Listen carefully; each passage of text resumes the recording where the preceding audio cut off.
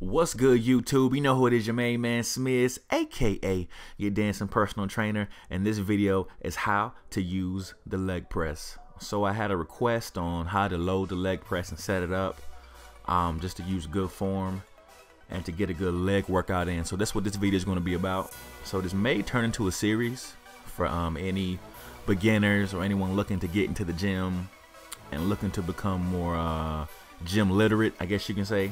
I'm gonna start dropping videos like this, basic videos, but they'll show you how to work your way around the gym and use any piece of equipment that you're looking for.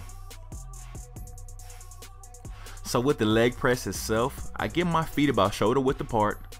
I dig those heels into the plate in front of me, and I want to just follow my normal knee path as I press uh, with the leg press. Again, digging those heels in.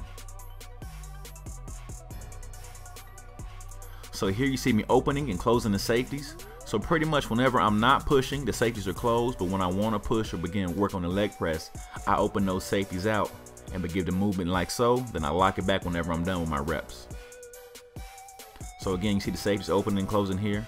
For most part, any kind of leg press has some kind of safety mechanism to lock the weight in place when you're not doing reps. So here are the front prongs. For the most part, I always load to the front. Um, works the overall leg, works those quads. If you want to work more hamstrings, um, you load those back prongs, but for the most part, pick a good weight, load it the same on each side, unlock those safeties, dig in with those heels, and follow that normal knee path, and just knock out those reps.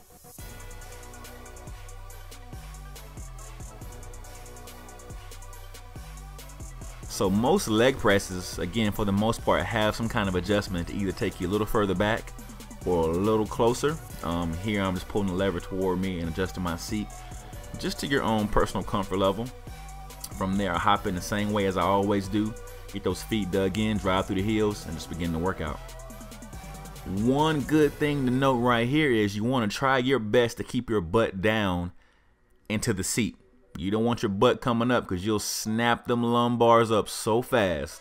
They'll snap like a poetry night at a jazz club. You don't want that. So here you see my butt all in the air.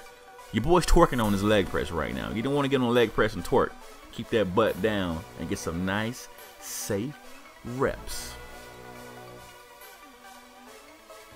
So I wanted to keep the video short. If this video helped you in any kind of way, please smash that like button. If you have any comments, questions, or concerns, drop them in the comment box below. Um, if you haven't already or you're new to this channel, subscribe, of course. Your boy makes dance tutorials, um, fitness tutorials, vlogs, all kind of good stuff. So I got more on the way, and I'll see y'all soon. Peace.